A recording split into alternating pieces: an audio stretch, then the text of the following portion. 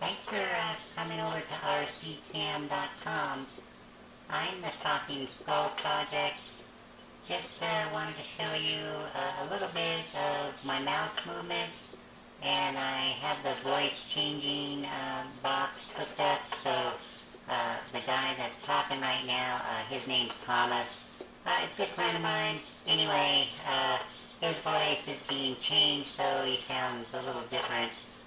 But anyway, you know, all nerds kind of talk funny anyway.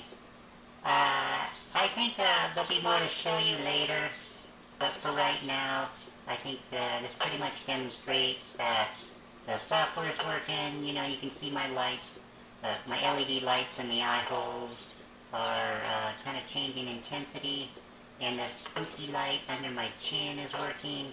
So, uh, so far, so good.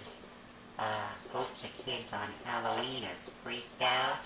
We'll see. Uh, I'll, I'll let you know how it works, but I got some more things to do. Got to get rid of these crazy wires coming out of my neck hole, and uh, got uh, a little bit uh, extra software to finish up, and some uh, hardware to work on. Uh, there's always something to do.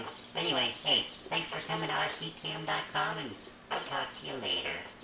kiểu là